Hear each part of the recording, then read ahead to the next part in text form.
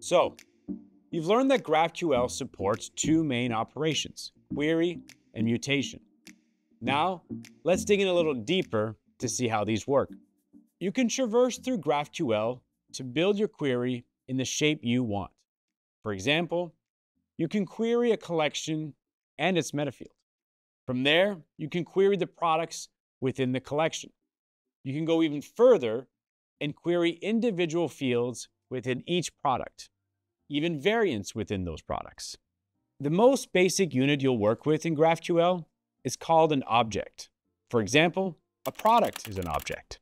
In its most basic form, GraphQL fetches fields on objects. A field can also be an object of its own, which contains more fields. Don't worry, we'll dive into this further later in the course. Different object types define the fields or information that can be requested. So since our object type here is a product, we could query or mutate any information related to this product. Let's walk through an example of how to use query. Let's say you're building an on-site landing page to market the launch of a new shoe. You'll need to pull the shoe name or product title, description, and product image to build an effective landing page. Next, let's say you're building a landing page on your online store for a new summer collection. You'll need to pull product titles, descriptions, and images for a whole list of products. Since you're now querying for multiple objects, you'll need to query a connection. Connections contain edges and nodes. Nodes represent entities, and edges represent relationships between entities.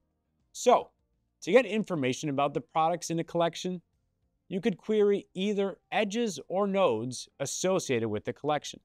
We'll dive deeper into this later in the course. Now, let's look at how this works using a mutation instead of a query.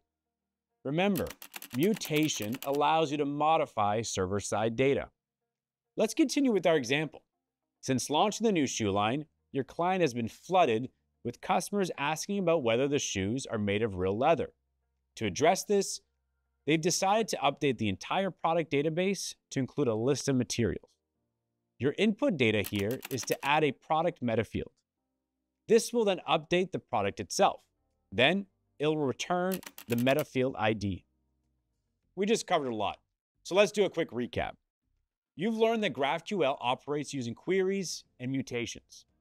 Queries let you fetch exactly the data you need, whether it's a single field or information nested further down in its network structure. On the other hand, mutations allow you to modify data on the server, like updating product information. Finally, remember that GraphQL's network structure gives you the flexibility to shape your data requests for your specific needs. We'll dive deeper into these concepts as we move forward in this learning pathway. So stay tuned for hands on activity labs to help you start putting this into practice.